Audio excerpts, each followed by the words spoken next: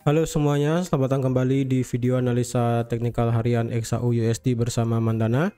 Ini adalah analisa teknikal harian XAU USD pada hari ini tanggal 30 November 2022. Sekaligus ini merupakan hari terakhir di bulan November 2022 yaitu hari Rabu.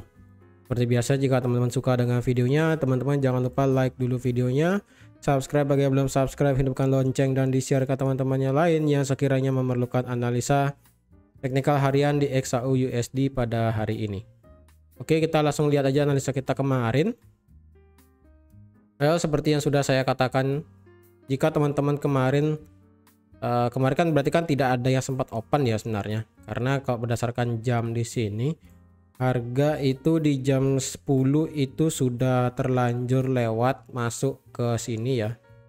Masuk ke mana? Sudah masuk uh, terlanjur terbang ke harga 1745 sehingga tidak ada open posisi buy. Dan yang open posisi sell kemarin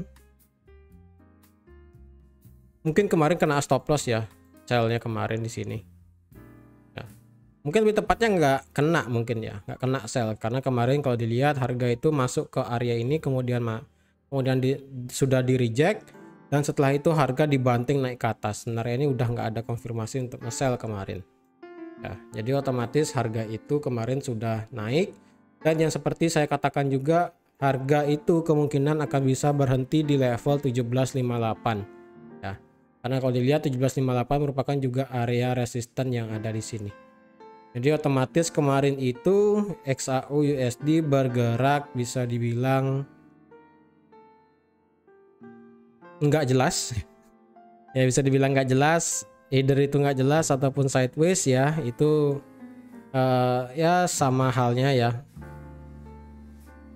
Dan kalau dilihat di sini ya sekarang karena kan sekarang itu hari terakhir ya di bulan November otomatis kan nanti akan terjadi yang namanya penutupan candle monthly.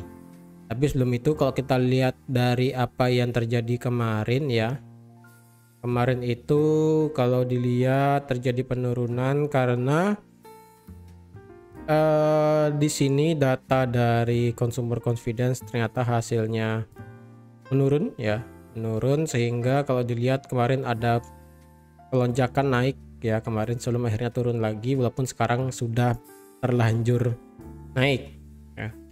Dan kalau dilihat untuk hari ini kita berita penting itu hmm, berita penting itu kita ada di nanti malam ada tiga empat ya empat. Mungkin lebih tiga ya tiga yang penting ya. Yang pertama itu ada ADP non farm implement change seperti biasa.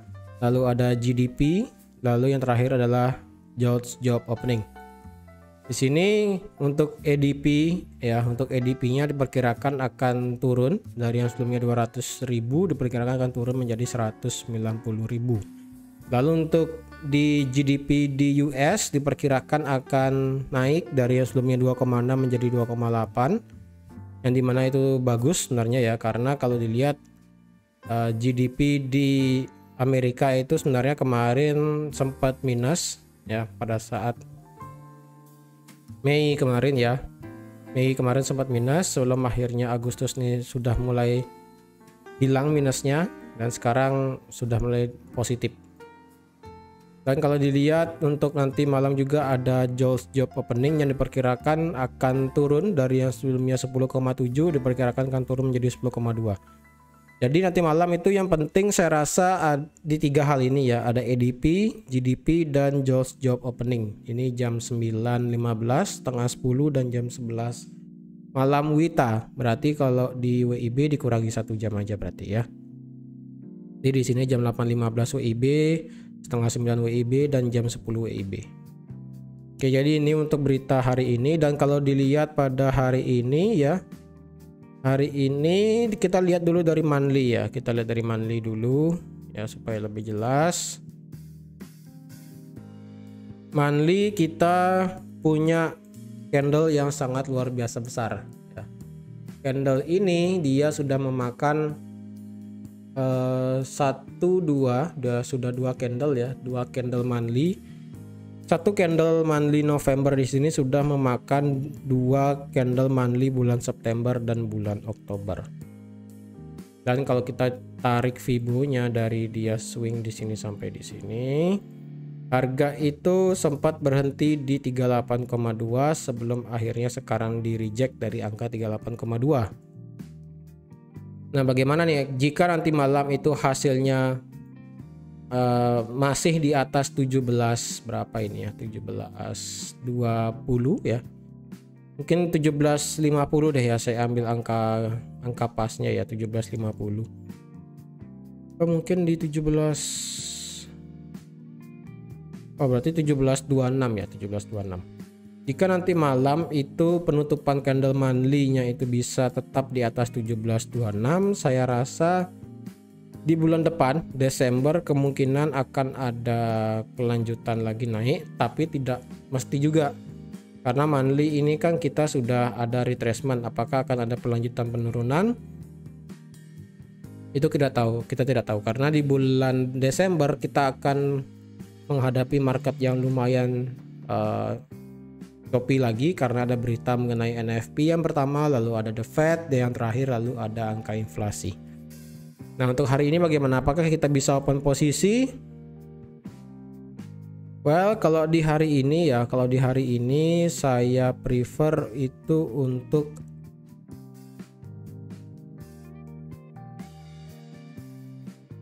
kalau saya pribadi kemarin sebenarnya sudah lewat ya karena kalau dilihat di sini ada level demand di sini demandnya ini udah kesentuh sebenarnya ya demandnya udah kesentuh kemudian terbang dan kemudian sekarang turun. Dan berarti area 1748 ini area bagus sebenarnya ya. 1747 1747 50 saya rasa.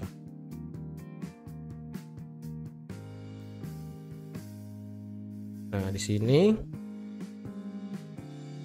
ini menjadi area yang bagus ya karena di sini kalau dia break retest turun kemudian menjadi resisten turun kemudian ketika di break lagi sekali menjadi support support ketika support di break ya bagus berarti ini ya 1747 dan untuk area demandnya terbesar itu ini sekarang ada di sini ya di 1744 terus sekarang boleh nggak kita open buy di sini? Saya rasa sih sudah telat karena uh, area demand ini sudah pernah diambil sekali lebih baik untuk ngebuy itu kita menunggu di area ini ya. Di area 1740 ya. Atau di area 1741 ini area 2 ini yang kecil ya. Jadi mepet ya antara demand yang sebelumnya yang ada di sini ya. Demand yang sebelumnya di sini itu mepet dengan demand yang ada di sini. Jadi kalau teman-teman gambar kotak untuk demand itu mungkin mepet ya sebesar ini tapi kalau mau teman-teman ambil cuma segini aja nggak apa-apa. Jadi ini bisa di delete ya. Ini bisa di delete bisa di delete kita bisa pakai area demand yang sebesar ini. Dari 1741 sampai 1739 terus kalau kita ngebuy di sini uh, di gimana? Apakah kita boleh ngebuy di area 1746 45 dan sebagainya kalau teman-teman mau ngebuy sini sih sebaiknya enggak ya, karena yang pertama ini demand yang sudah pernah diambil, yang kedua ini demand uh, sehingga ya ketika demand sudah pernah diambil sehingga ini tidak fresh sehingga peluang untuk dia bergerak naik itu sudah tidak 100% lagi, sudah berkurang mungkin ya 80 20 seperti itu. Jadi ketika dia turun nanti sampai sini, teman-teman perlu konfirmasi yang pasti. Entah itu ada rejection panjang atau ada engulfing. Ya bisa ada bullish engulfing seperti itu. Baru teman-teman boleh ngebuy sampai di 1755 jika tidak ada sebaiknya jangan open buy di sisi di sini. Jadi lebih baik sekalian aja open buy ketika dia turun sampai di 1740 ya ketika open buy di 1740 atau enggak 1739 buy teman-teman itu stop lossnya mungkin uh, cukup lebar ya. Karena kalau dilihat sebelah kiri seperti yang sudah saya katakan kemarin juga ya. Eh di H4 ya? Oh, bukan di M30 oh ya seperti yang sudah saya katakan juga di kema di hari kemarin ya. Yang di mana untuk stop loss teman-teman itu bisa di bawah 1734 enggak di 1733 tapi kalau mau di bawah swingnya ini juga nggak apa-apa. Nanti stop loss teman-teman bisa di 1737 take profit di area demand ini lagi. Berarti otomatis demand ini menjadi area untuk supply. Seperti itu. Untuk yang nge-sell bagaimana? Apakah kita bisa nge-sell untuk pada hari ini? Untuk nge-sell untuk di area atas saya rasa sih nggak nggak ada ya. Kalau saya lihat pribadi ya kalau saya lihat pribadi pergerakan dari XAU USD ini apa ya bisa dibilang agak aneh ya kalau dilihat ya kalau lihat dari sini. Sama dia kan turun ya kan? Turun kemudian dia naik ya kan? Itu turun terus sekarang naik nah. Sampai sini saya bingung nih sebenarnya kalau dilihat dia seperti gini kan seperti apa head and shoulder. Tapi head and shouldernya ini miring gitu kan. Head shouldernya miring. Kalau dilihat seperti apa lagi ya apakah sudah tren turun? Enggak juga. Inilah yang dinamakan choppy market atau market yang nggak jelas sebenarnya pergerakan arahnya tuh nggak nggak jelas sebenarnya. Karena kalau dilihat dari daily pun tidak begitu ada kejelasan juga di daily. Nah dari ya dari 23 November lah. 23 November sampai kemarin itu nggak jelas. Dia kejebak antara ini sampai ini. Jadi bisa dibilang harga itu berada di tengah-tengah sekarang ya. Antara 1747 sampai di 1762 kembali lagi masuk ke area sidewaysnya dia kemarin. Seperti itu. Tapi kalau mau saya lebih patenkan area sidewaysnya sekarang itu sangat lebar ya. Sebesar apa? Sebesar ini dari 1762 sampai di 1733 udah itu ya sidewaysnya sangat lebar ya. Menurut saya sih seperti itu. Sideways terlalu lebar. Untuk yang nge-sell lebih baik sih sekalian aja teman-teman nge-sell di sini sekalian ya. Kayak kemarin ketika masuk kemudian bisa nge-sell. Tapi nge-sellnya nggak usah jauh-jauh. Ketika teman-teman ingin nge-sell di area ini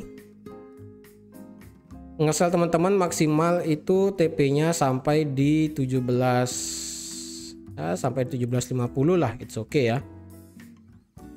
Nggak usah sampai 1747 1750 bisa 17 55 pun bisa. Karena kalau dilihat sekali lagi ini area supply ini udah nggak fresh. Ini sudah masuk ya. Bisa dilihat ketika harga ini masuk ke area ini kemudian harga dibanting turun. Jadi ketika dia bisa naik lagi sekali sampai ke area ini kemungkinan dia turunnya tidak akan sejauh yang sebel yang sebelumnya di sini. Seperti itu ya jadi ngebuy saya sarankan sih menunggu di bawah ya. Seperti yang analisa saya kemarin sekalian tunggu di sini. Stop lossnya itu bisa menggunakan uh, analisa yang kemarin ya.